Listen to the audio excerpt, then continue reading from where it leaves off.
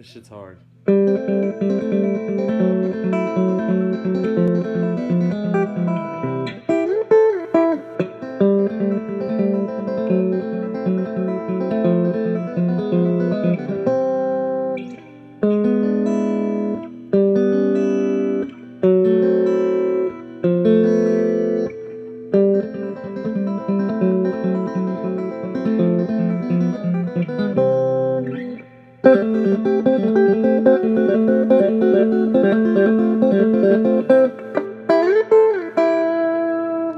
Yeah, this is a hard song. That's pretty much all I've got. I'm just trying to get every, just trying to break it down in pieces because it's it's kind of like an epic journey through a song. But um, the picking patterns are really intense. It's really tough to get them, get it really down and get it really clean. I mean, as you can tell, I can't play it nearly as clean as I want to.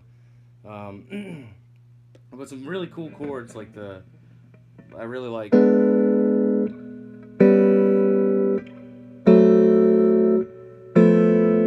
Love that descent. It's like there's a dissonant note in each chord, and it just and it never resolves properly until you get back to the.